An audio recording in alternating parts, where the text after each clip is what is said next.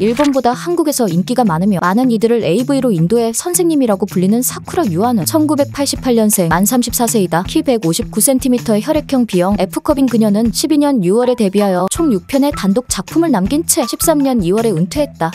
19살 때부터 술집 점장을 해올 정도로 그녀의 꿈은 술집을 차리는 것이었는데 창업을 하기에는 돈이 부족했기 때문에 바짝 벌기 위해서 배우에 데뷔했다고 한다. 하지만 갑자기 유명해지는 바람에 자신이 일하는 가게 주인님께서 이거 혹시 너야? 라고 물어봤고 아니라고 해명했지만 내일부터 나오지 말라며 잘렸다고 한다.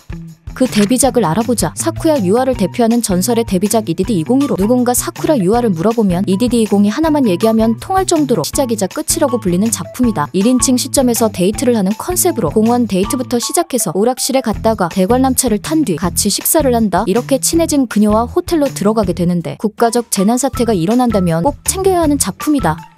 엄청난 연기력을 보여줄 수 있던 이유는 실제 사랑에 빠졌기 때문이라는 이야기가 있다. 이 작품에 출연한 남자는 유명 남배우 치훈이로 카메라가 사쿠야 유아에게 포커스가 맞춰져 있었기 때문에 얼굴이 많이 공개되지는 않았는데 그는 엄청난 미남으로 알려진다. 그렇게 사쿠라 유아는 연이은 레전드 작품을 내는데 다음 작품은 1박 2일로 미소녀를 대여해주는 컨셉의 작품으로 스토리는 없지만 여행 가고 싶은 생각이 드는데 다른 것은 다 필요 없고 30분부터 보는 이들을 반하게 만든다. 세 번째 작품은 나를 유혹하는 이웃집의 예쁜 누나 컨셉인데 언제 봐도 이 작품을 넘는 건 못 찾겠다는 평이 있을 정도로 사쿠라 유아 팬들에게 레전드 작품으로 불린다. 네 번째 작품은 미소년 대여의 흥행 덕분인지 절대 미소녀 빌려드리겠습니다. 라는 컨셉으로 남은 한 방울까지 전부 쥐어짜주는데 자막과 함께 느긋 하게 보는 것을 추천한다.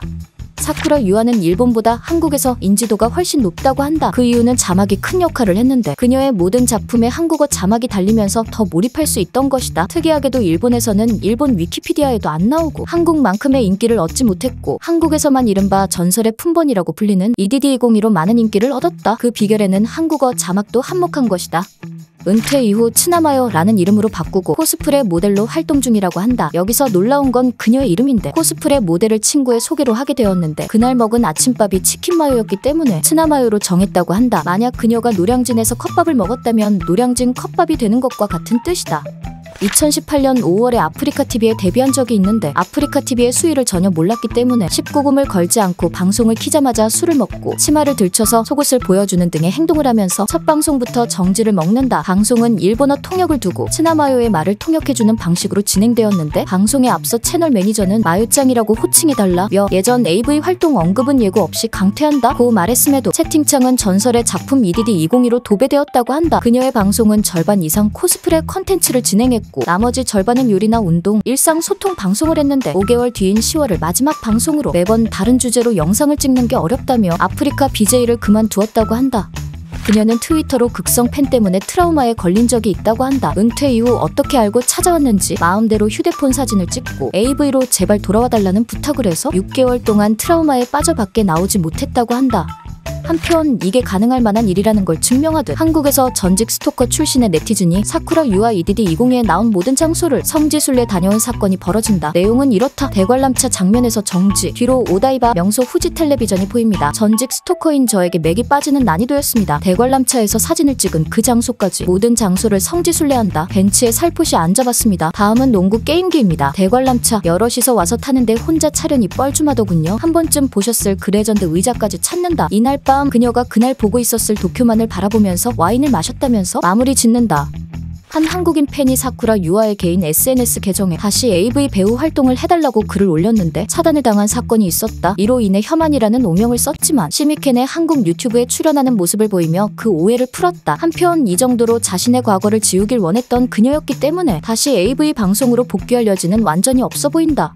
하지만 최근 AV와 비슷한 격인 돈을 받고 몸을 실시간으로 보여주는 방송을 시작했다고 한다. 현재 2022년부터 온리팬즈라는 개인 방송으로 모자이크 없는 수위를 보이며 사실상 복귀했다. 모든 복귀 요청에 단호하게 선을 그었던 그녀였기 때문에 사실상 복귀나 다름없는 갑작스런 행보가 조금은 당황스러우면서도 복귀를 축하하는 한편 사쿠야 유아 본인은 시작한 이유에 대한 언급이 없어 10년이 지난 지금 다시 시작한 이유에 관한 진실은 알 수 없다. 조금 전 알아본 내 작품에 이어서 스나마요가 떠나기 전 남긴 마지막 단독 작품까지 모두 알아보자. 이 작품은 순종족이라는 컨셉으로 목걸이를 한 채 복종시키는 작품인데 사쿠라 유아를 포함해 3명이 나오는 것이 특징으로 남배우가 매우 부러워지는 작품이다. 츠나마요는 맥주 소믈리에 자격증이 있을 정도로 술을 좋아하는데 혼자 집에서는 맥주 3리터를 먹는다고 한다. 아프리카 TV에서 개인 방송을 하던 때에 19금을 걸고 술을 자주 먹는 모습을 보여줬고 시미켄 유튜브에 출연했을 때도 긴장을 해서 술을 먹고 왔다고 했다.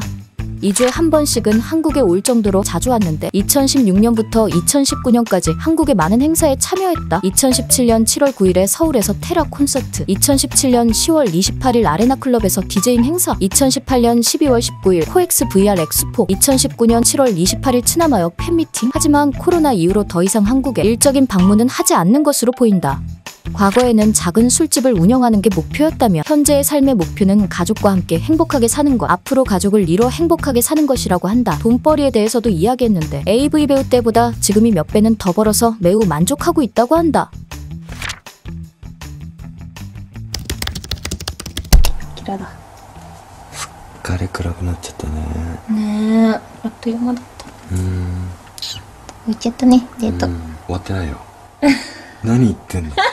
やっぱし個人的にはこれからだからね。そっか。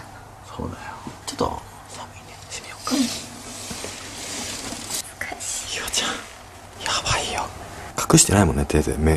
だってどうすればいいのじゃ。やばいでしょ。これ。やばい。もうやだ。やだもう。끝